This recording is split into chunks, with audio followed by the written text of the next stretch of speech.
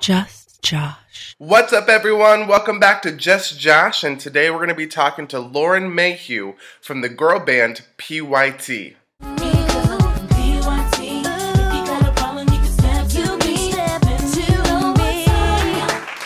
PYT was a girl band back in the early 2000s. They were kind of in the mix of the heavy hitters of Backstreet Boys and NSYNC and Christina and Britney. I really loved their album. I had their album, their singles. I had a big crush on Lauren Mayhew. And then I grew up a little bit and I found out that I just wanted to braid her hair and watch Disney movies. Uh, so the crush didn't last too long, but I loved them. Check out the interview I did with Miss Lauren Mayhew from the girl band PYT here. Don't forget to subscribe to facebook.com slash justjoshtelevision and my YouTube channel, youtube.com slash justjoshtelevision. Thanks, guys. Hi. How are you? Good. How are you? Good, I'm well. So, a couple questions for you. First off, what was it like to be what was it like to be in PYT? Um, you know, I think probably the best thing about that was that you know I'd known those girls since I was, I don't know, practically could walk and sing. You know, and um, it was really awesome being able to tour around the country and the world. Honestly, um, with people that you that you loved and you love singing with. And um, I think that you know when you do something like that, it's it's a really cool way to be able to uh, connect with someone on stage. I mean, we used to play games with each other and um, contests while we were performing. I mean, unbeknownst to the audience, of course. You still talk to the girls from PYT? Um, you know what? That's actually the sad part. I really, um, I'm not super connected with them anymore. And it's unfortunate because of, they're all great girls and they're all doing awesome things um, in life, but uh, I am not very close with them anymore. So that is unfortunate. But um, you know, I always I think about them honestly often, and I hope that they're doing amazing. So your first big break into acting was with um, was Raise Your Voice with Hilary Duff. Tell me Yeah, about that. Um, that was probably, I mean, that was definitely the big first big feature film that I had done. But um, I was on a TV show as a kid that I did like 60 episodes of. Um, that was called The Reppies, and then I was on a soap opera for about two years. I played Marah Lewis on Guiding Light. Yeah. What was it like to work with a big star like Hilary Duff? She was awesome. Actually, Yeah? it was really funny. I, I came in for the screen test, and she was actually at the screen test, which is pretty rare. I feel like um, for like the star of the film to be there. Usually, it's just with like the producers and the network or, or the studio in that case. Um, but she was there, and so I read with her, and um, it was funny. Like she told me. Um, actually, I can't remember now if it was in the room or if it was after I booked it, but she was like, I was a huge PYT fan. I actually saw you guys perform in Texas, which is where she's from. Which I was like, oh, well, I'm sure that didn't help me get the. I mean, that, I'm sure helped me get the role, or did, at least it didn't hurt, you know. And your most recent bigger project was working um, as or with the WWE. How was that?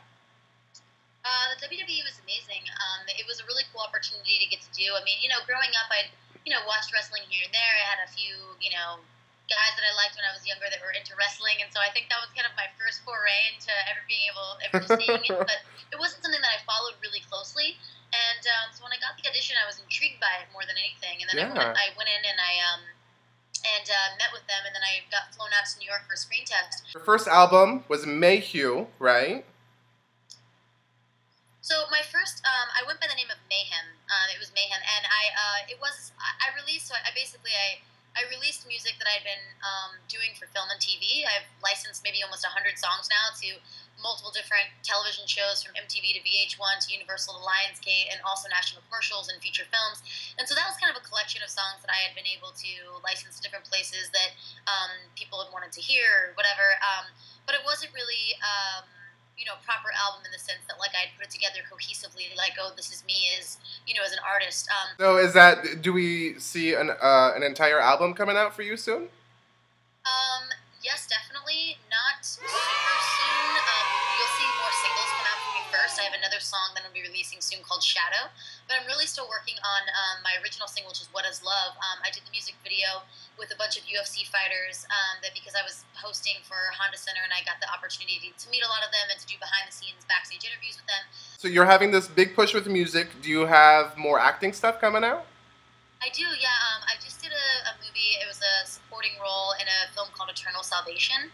Um, it's basically like a Wall Street uh, kind of movie that's um, faith based. Okay. And um, I actually didn't. I had no idea what a large demographic there was for faith based movies, and it was really awesome to be a part of something like that because just the overall message behind it. I mean, there's all these different things that happen, and the guy kind of falls off the path, and it's um, you know kind of similar to you know the Leonardo DiCaprio version in that sense in terms of the storyline, but really has this underlying positive message behind it, and I just thought that was really cool to be a part of, and everyone on the set was amazing. Going back to my original question.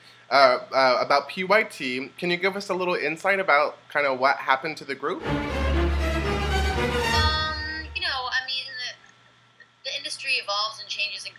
Change. And I was, I think, um, the only one before the group started that was in the entertainment industry. I was, you know, on Guiding Light at that point. I'd been on the show for two years, and um, I think that, uh, you know, it was really interesting with our group because, you know, we'd gotten thrown up there at such a young age, and um, you know, I think we were kind of all growing like in our separate paths of like what we wanted to do career wise and everything yeah. else. And I think that some of the girls didn't even want to be in the industry. Um, really, that like you know maybe the entertainment industry wasn't like their main dream or wasn't really where they really saw themselves being. And as they got older, I think they kind of realized that.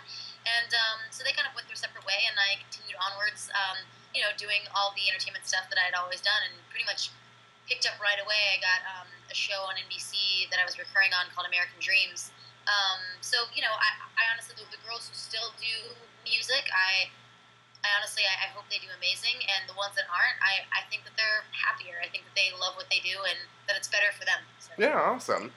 Um, do you still keep in touch, or do you still talk to Sarah at all?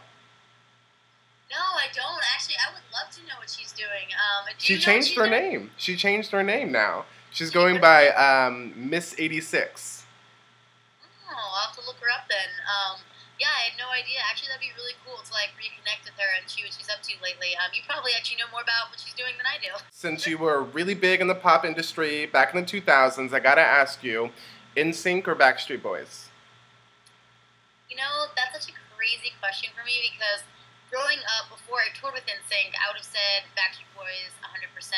Okay. But I mean, I have a, I have a special spot in my heart for NSYNC. I mean, honestly, they are incredible performers. It's, it's so hard to choose. I don't know. It's it's it's crazy. Pre pre touring with NSYNC, I would have probably said Backstreet, but after touring with NSYNC, it's a toss up. I don't even think I could choose. Okay. Well, thank you so much for hanging out with me today. I look forward to all kinds of new stuff from you, new movies, new music.